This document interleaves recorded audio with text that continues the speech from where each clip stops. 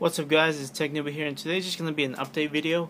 As some of you might know, Apple released iOS 4.3.5 for the iPod Touch uh, 3rd generation, 4th generation, the iPad first, second, and the iPhone 4 and iPhone 3GS.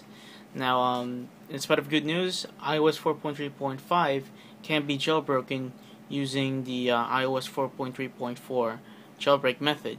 And what I mean by that is that you can pretty much trick the iPhone or whatever iDevice you have into thinking that you're running on iOS 4.3.4.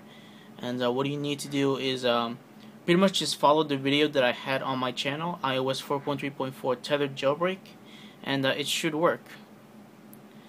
As you can pretty much tell from the title, it is a tethered jailbreak, meaning that every time you have to um, turn off your device, your battery goes down to zero, you have to reboot, then you pretty much have to run redsn0w again, which is kind of the big downfall of this jailbreak. And as of now, there is no untethered jailbreak. So um, I'll post the video link in the annotation of the video, and uh, pretty much just follow the steps. As for the firmware download, just download the iOS 4.3.4 firmware, and uh, pretty much continue from there. Just follow the video, and um, there's nothing special you need to do about the jailbreak. But um, that's about it, guys. If you have any more questions, please feel free to comment and uh, please rate, comment, subscribe, and I'll see you guys later. See you.